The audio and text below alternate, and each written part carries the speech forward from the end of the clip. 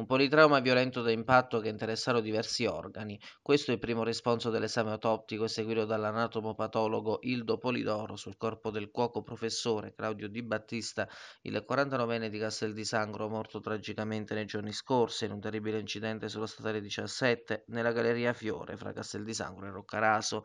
È una morte da impatto, è venuto fuori un politrauma violentissimo, spiega il medico legale Polidoro.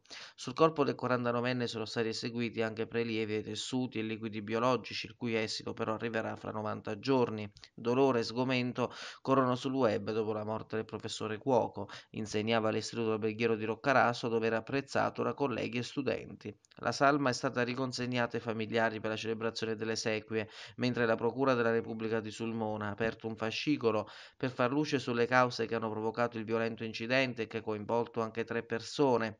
Al momento due donne sarebbero iscritte sul registro degli indagati, ma sulla rete sociale di Facebook a prevalere è il ritratto del professore con il suo carattere riservato e il suo grande impegno che ha sempre profuso nell'insegnamento e nella sua professione. L'intera comunità è in lacrime.